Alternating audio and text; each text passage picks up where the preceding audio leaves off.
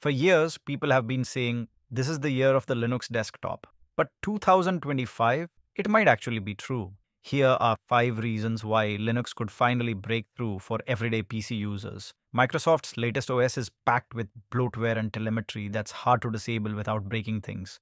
Their new recall feature literally records everything you do. Even worse, future updates might remove your ability to turn it off. For users who care about privacy, Windows is becoming a serious risk.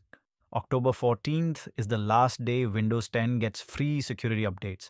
After that, you'll need to pay $61 a year for patches, ICI, and that price doubles each year. So, unless you want to pay up or downgrade to Windows 11, it might be time to try Linux.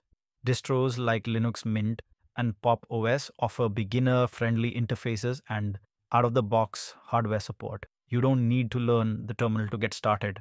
Installing Linux today is as simple as downloading an app and following a setup guide. Whether you want something lightweight, security focused, or built for gaming, Linux has it. From Diet to Qubes OS to Nobara, the variety is unmatched. And yes, distro hopping is a real addiction. Valve's Steam OS, powered by Proton, lets you run most games on Linux at native performance with a public release for all hardware coming soon.